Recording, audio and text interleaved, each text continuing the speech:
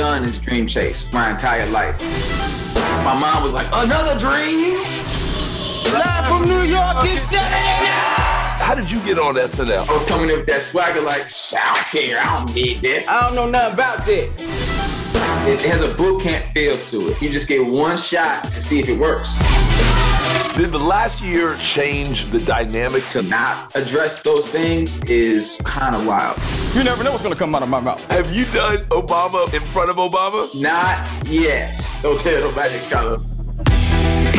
Hey family, it's Carlos Watson. Welcome back to another edition. Now, I've got a guy who's been cracking people up on Saturday nights on NBC, and now he's doing the same thing on Tuesdays, thanks to his role opposite Kenan Thompson on the new comedy series Kenan. Of course, I'm talking about SNL's very own Chris Redd. He's way too funny. Take a look. The Carlos Watson Show is brought to you by American Family Insurance. Hey, Chris. Carlos, what's going on, man? Carlos Watson, look at it. Oh man, you're in the right place today. Now, I hate to say this, but you already have a fan club here at the Carlos Watson Show. Oh, you hate to say that? Because I love when you say Man, I was enjoying you this morning. I was loving your stand up. That piece you were talking about, walking with your big cousin and Oh, yeah. uh, getting punched in the throat. That was great. I don't know if you've been hit directly in your throat, but a couple things happened. For one, your throat says and it just closes forever. Your spit is like get suicidal. It's like, goodbye, I don't need to be in the mouth. Dog, I got hit so hard in my throat that I had a limp, and that is not how science works. Yeah, it was a very embarrassing time in my life. if you fought enough growing up, you definitely lost a fight or two. And that was just one of those fights that, like, I definitely came in with all the confidence in the world. And, uh, and I left with a lesson. Now, how long have you been in Harlem? I've been in Harlem four and a half years now. After the pandemic, uh, the walls started closing in on me, man. I ain't had no windows because I was touring so much that I never like stopped to think about like, hey, maybe I need more space. And so it was kind of good in that way to kind of slow down.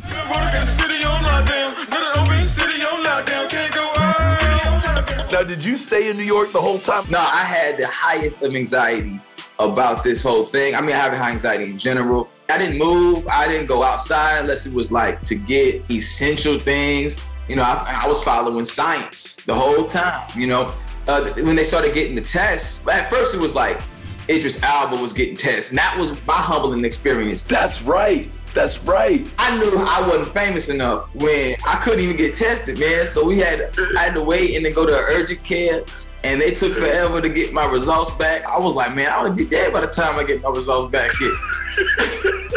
and so I then took another test, and I got my both results back the same day because the rapid test just came out. It just dropped the album, right? So I got both results the same day, and they were both negative. I was like, "Ooh, I beat COVID twice. Ooh, I'm free." And the doctor was like, "You still got high blood pressure." I'm like, "Man, black man can't win in America, bro." they got you one way or another. But you know what, though? It feels like many lifetimes ago. It was only a year ago. I watched everything. I don't know about you. I watched everything. I was alone. I was solo pandemicing, which was different than people that had somebody. It got to a real bitter point, Carlos, where I didn't even want to talk to like anybody on the phone complaining about the pandemic who had somebody. It probably made you think about who you should be with. I stepped back, like I was, I was dating somebody right before the pandemic hit, and I was like, oh yeah, we wouldn't have made it through. A lot of relationships got super strong from it, and then a lot of relationships are now uh, solo relationships. You know, I watch a lot of porn. You know, I'll be real with y'all. I watch, I watch all of it. That's the commercial Chris Redd. I watch all of it. I started sending notes to actresses and actors like, yo, your heart's not in it. Oh man. Oh man. The kids and me, man, they used to pick on me. I remember uh, this dude I didn't get along with, John. He came up, he was like, "Hey, Chris, forget you. You're stupid, and you got a crackhead uncle. All he does is dig in the trash and do crack." And I was like, "So? You know how hard that is when someone says something that's hurtful and true?" Where do you think has the most comedic talent at the moment? Where's the hot spot? I feel like New York is always going to be like top tier comedy, but Chicago's always going to manifest that funny. Uh, LA has talent, but I would put New York above it just because of just the grittiness and just how the scene out here is. I could have a set tonight and I'm following Chris Rock, David Attell, or Bill Burr. Healthy food, you can't you can't even smell it. You have a bag of apples right in front of my face. I, I, my eyes are closed. I can't smell it. 200 miles away. Oh, is that, is that KFC? Hey, you want to get some chicken? And then I gotta go up. You know what I mean? And that's a different beast. What is the toughest spot to do it at? You know, in basketball, they talk about the rucker. What's the rucker of comedy? Outside. Doing outside shows sucks. You're battling the elements. You're not just battling keeping people's attention. Oh, and music festivals is, are, are kind of terrible um, because uh, everybody on drugs. They're like, I'm here for a band. I'm not here to listen to this. Those situations are pretty tough. But like coming up, uh, Jokes and Notes was my favorite club. It was my home club where I started. Being a thug from Naperville is like being a thug Care Bear. like, like you can buy clothes to look the part, but you still start every day sliding down a rainbow slide with your friends. Wee! Thug life. We got both parents. that room used to be so hard because you get people from everywhere. You know what I mean? You from the hood to the suburbs, and if you're not hitting them, boy, you start hearing this bomb sound. but that, and in, in the, not even on your punchline, just in the beginning of your next idea. And if that punchline don't hit, which it don't, because everybody waiting to hear the bomb. That's crazy. I've, I've never heard of that, but that is terrific. That is creative. We can do it. We believe in you. We can do it. Our home is the training ground for her dreams policy. Insure carefully. Dream fearlessly. I don't want to brag, but I have, really have a high IQ. I'm a stable genius. I got a big brain, and I got the best words. Oh my God, he's black me. So how did you get on SNL? How did that happen? I mean, I started comedy like at 23 because I was trying to rap before that, and then I, then I had the brilliant idea of leaving chasing rap to go to comedy. So I just, just chose to be broke until I'm 31. Jerry, I know you hate that word, okay? Because your mama's a racist and she used it in a completely different context. She does. I was in these institutions learning how to like Second City, and I was just playing and going to these jams, learning improv and sketch writing because I didn't finish college. I just went to community college for a couple years. The second year was just to sell weed to make my money back. Oh. Don't tell nobody in college.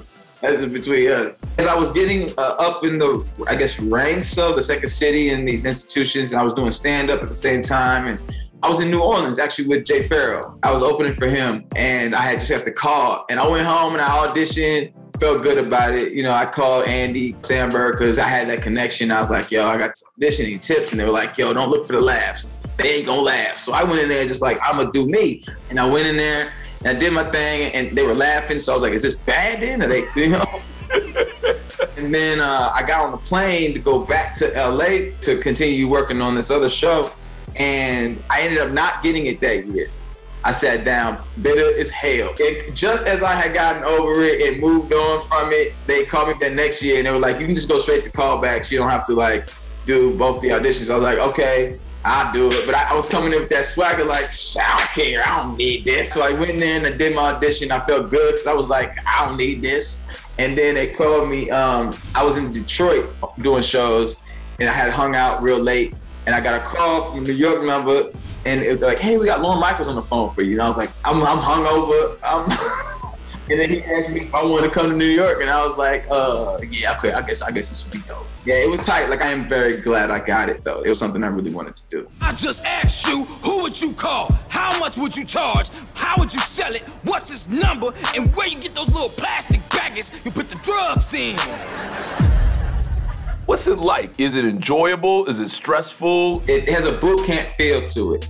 It's like there's no job like it in Hollywood, man. It's always moving, it's fast paced for Monday, you're just kind of coming up with ideas, writing the table reads that Wednesday. They pick that stuff and then you produce the sketch.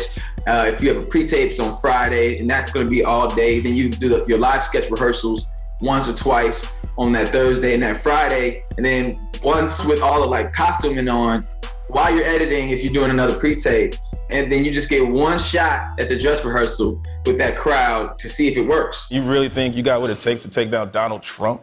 Trump? Trump? The dude that got bodied by the popular vote? the dude that got beef with Nancy Pelosi's? Trump? And then from there, they pick what's going on in the live show. And then even then, in live show, You're sitting there like things could get cut during the live show. So we all vying for these like few spots in this 90 minute show where we're all just trying to showcase our voices and it has like that audition feel to it, even though you already have the job, which is kind of wild. But also like it just causes you to write better and just be better. And I would say that like as good as some of the best shows feel, people will never understand how funny my castmates are. Like the table reads, just the things I've seen them do. Like Kenan is Duke can't miss. Every time I bring up emotional conflict, he want to talk about the Lambo. Lambo. Back then, it's maybe one of the funniest people I've seen at the table. Period. Like Kyle, hilarious. I could name the whole cast. Like they just kill it. You just see so much creativeness, man, and, and with the writers and what they bring, it's nutty. And you can't control all the choices uh, of everything, but it's that rush, it's that adrenaline. It's like the Super Bowl for sketch comedy. Let's take a look at our final Jeopardy category Lives That Matter. I know, I got a lot to say about this. Yeah, I'm sure you do. When we come back, Did the last year, did everything that happened with Black Lives Matter change the dynamic of the show, how you guys worked, what uh, sketches got chosen, etc., or not really? This is the most diverse cast that has ever been on the show between the cast members and behind the scenes. So I think that alone has forced the institution to change. When you have that many people representing different backgrounds, you just have to force the change. Otherwise, you're just muting voices. And I think that show being a show that skewers everything and is on top of everything that's going on to like not address those things is kind of wild. Like we're still a sketch show. I still want to get silly and funny with it. Sounds like we all agree there's no way Derek Chauvin walks away from this. What? But you gotta know this stuff is out there and you gotta talk about it. To ignore it is just wild. I wouldn't be for it. I, just, I would just keep pitching Black Lives Matter stuff until it mattered. How are you liking the uh, sitcom with Kenan? How's that going? I love this hat. It always reminded me of something Jaden Smith would eventually wear. I'm an I can't live it. I love it, man. We are a, a, little family for real. Like I love writing for Kenan. I love working with Kenan. I love, you know, what I'm saying all, all of that. You know, it, it just made it easy. And Kenan brings such a dope presence as far as being cool, accomplished, very good at the job, but also just a level of humility that you don't see in a lot of people who've been doing it as long as he's been doing it. And I love having a fun set. You know, you might get roasted.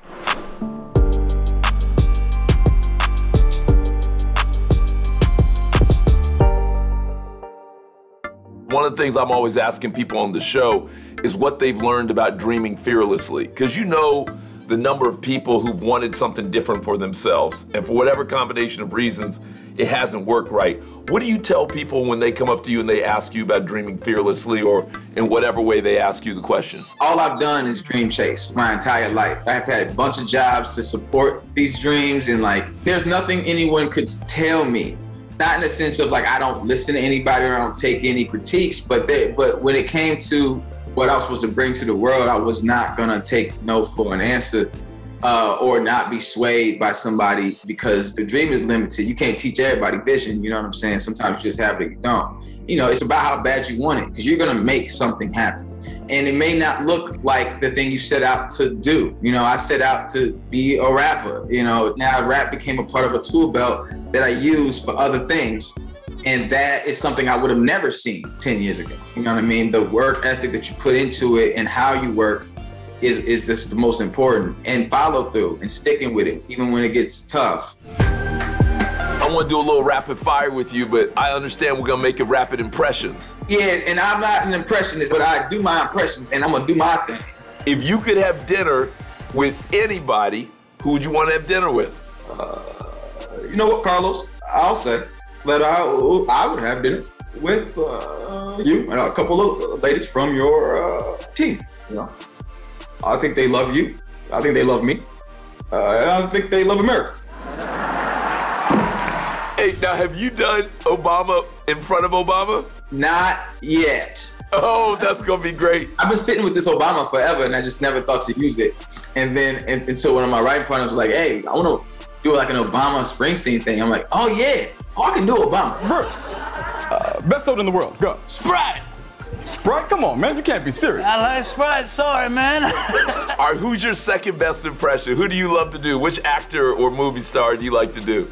Listen, man, uh, I, am gonna have to tell you something, partner. Uh, if I acquire conflict, I'm gonna need that to uh, be uh, rectified expeditiously. You understand? Wait, that's that's not Cedric the Entertainer. Who was that? Oh man, you said Cedric? I was trying to Ti. Is that Cedric? and you know I love him too. Okay, that's good. I should have known that. All right, now give me an athlete. I don't know if I know, athlete, but I, this what I could do is Stephen A. Smith. All right. You, you, you think that Michael Jordan uh, is anything worse than you think that LeBron? Give me Jordan. Are you serious? My neck hurts. You're ridiculous. Absolutely. I love him. All right, give me one of your favorites, whoever your favorite is. I love playing my dad. Man, man, listen, boy. Here's the thing that you need to understand. I'm the dad, okay? So while you asking me for basketball moves, I ain't gonna give it to you. Has he come to New York to get to see you live yet? Yeah, yeah, man. Cause see, they ain't believe in my dreams at first. They were like, rapper. That is not why I came up here from Mississippi. See, you can rap. Like my mom was the one that was like, another dream? Damn. Hey Chris, I really enjoyed you, and uh, and I'm rooting you on from afar, and uh, just wishing you good things. Man, I appreciate you having me on the show. I appreciate you having a show that feels fun and like casual and and just uh yeah, you're dope, man. Yo, let's hang, let's hang out. I'm double vaxxed, bro. So you know, leave out the microchips. You know, we'll grab drinks outside or something, man. Monica, you ready today? I thought he was so funny, beautiful smile, and he knows it too. um, he kept me laughing the whole damn time. Yeah, so, yeah. where is Kimmy? I love how candidly and easily he admitted that he just watches a ton of porn. you know, like to me that was like an awesome insight and very honest about like what most dudes I think do with their time. Yeah. I kind of want to follow up with him like okay. let's just talk porn. Eli, you ready to get in there? I'm so ready to get oh, in there. Oh, oh. The one thing I do not want to talk about with Chris Redd is porn. I don't want to hear anything. We got the one joke. That's it. That's all we need. I definitely put him in my top 10. Absolutely. Wow. Yes, wow. Absolutely. Okay. You know I love when it cracks the top 10. Uh, I was trying to quietly laugh to myself the entire time. Just the absolute best. Marco, do you want to slide in? Damn, he's dope. You've asked several times who should play you from SNL. Yeah. Come on. Oh, baby. hey, I hope you enjoyed Chris Redd. Uh, I've loved his comedy, but you know, spending time with him, I feel more convinced he's going to be a big time star. Feels like one of these Kevin Hart moments is about to come where all of a sudden you see him everywhere. I love him. I'm rooting for him. Appreciate his parents as well. Good luck to him. All right, listen, before we go, I want to invite you to pick up a pair of my new favorite shoes. You've been hearing me talk about these shoes from Cariuma. They're fantastic. In fact, the kid's wearing a pair right now. Do yourself a favor, visit cariuma.com slash Carlos. Check them out. If you love them, hit me up on social media. Tell me which pair you bought. And if you're enjoying the show, remember you can subscribe to more episodes. You can also watch the podcast and share the good word with other people. I'll see you soon.